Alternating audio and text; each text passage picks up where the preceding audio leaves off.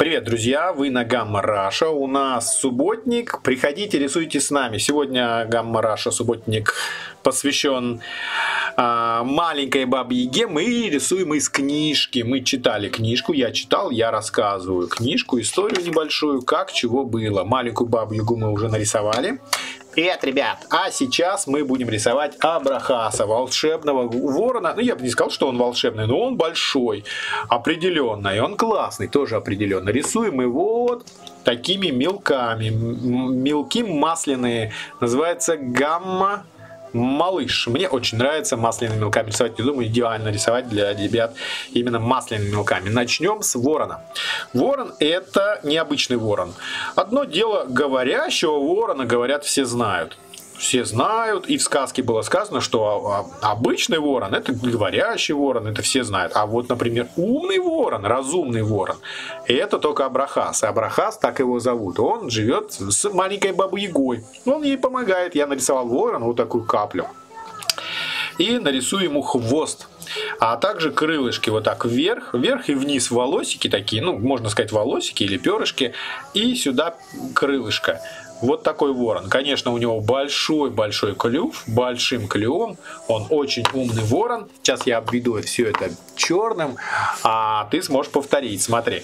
Раз, клюв обводим и говорим. Однажды ворон говорит, э, бабьяга, что-то ты стала плохо колдовать.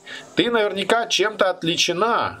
А, а маленькая баба сказала, конечно, меня не берут на Вальпургиевую ночь, потому что скоро Вальпургиевая ночь, а меня не берут, там можно танцевать, все ведьмы там пляшут. Ее, в общем, не берут. Проблема у маленькой бабьяги, что ее не берут в Вальпурговую ночь. Это не просто проблема. Все маленькие, все бабьягешки и все колдуньи там танцуют и поют и около костра, а меня не берут. И я решила полететь туда сама. Абрахас ее отговаривал, кстати, ребята. Отговаривал, отговаривал, но все равно бабьяга такая непослушная, она полетела. И вот мы узнаем, что там будет в следующем рисунке, узнаем. Пока я расскажу про Абахаса. Он такой, э, кажется, простачком а, и кажется умным. Но, с другой стороны, мне кажется, он и не умный, и не простачок, он просто рассудительный, я скажу, этот ворон.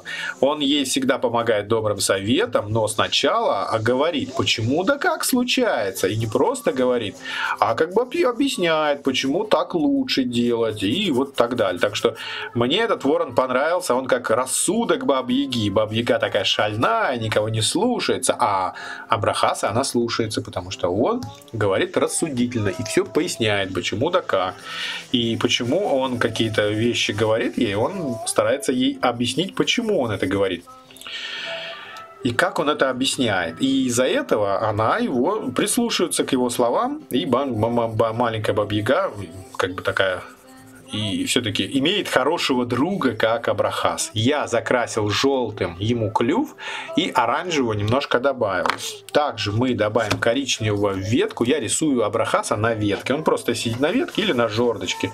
Я, конечно, люблю на ветке рисовать птиц, потому что они как живые, летают, могут полететь и не сидят где-то в заперти, да, в клетке, да, птицы не в клетке. Вот такой абрахас у меня получился. Какие у него глаза? Я думаю, что желто-коричневые. Мне кажется, что желто-коричневый. Ворона мне хочется сделать желто-коричневый и немножко оранжевого добавить тоже. Такой желто-коричневый-оранжевый. Пишите мне, пожалуйста, что вы хотели бы, чтобы я нарисовал. Делайте сторис. Я сторис ваши вроде бы могу получать. Иногда случается, что не получается, но все-таки сегодня, я надеюсь, все получится. Если вы рисуете со мной, э, маленькую бабу-ягу, то я очень рад. Мир Трудмай, конечно, всех поздравляю, но сегодня тема такая у меня. А, весенняя маленькая баба-яга. Очень мне нравится эта сказка, и я давно ждал, когда же я могу нарисовать ее. У нас были разные праздники, мы нарисовали много на Пасху, а теперь мы рисуем маленькую бабу-ягу, она веселая и яркая. Мы рисуем Абрахаса, рисуй со мной. Зову еще раз тебя. Красиво получается. Это ворон, он умный. Он умный. Надеюсь, что он выглядит умным парнем. Говорящий, но самое главное его достоинство, что он умный и разумный, помогает Бабе Яге все делать, а, а рассуждать, помогает рассуждать, как бы так такой а, мозг, который отдельно находится, да, такой рассудок. Что мы еще нарисуем? Давай нарисуем ей немножко облаков. Все у нас сегодня будет с розовыми облаками, и все будет такой вот масляными мелками. Я постараюсь. Он немножко грустный, можно сказать, мой, мой абрахас. А почему? Печальный ворон, да. Да, я тоже это заметил, и люди пишут печальный ворон. Ну, потому что, как бы так, от много знаний, много печали. Он такой, да, он такой рассудительный, но не веселый. Мне кажется, да, какой-то не очень веселый получился. Но может быть он дальше, когда она ему помогать будет, а помогать его родственникам будет, другим воронам, он станет повеселее у нас. Так что ворона мы нарисовали. Зовут его Абрахас.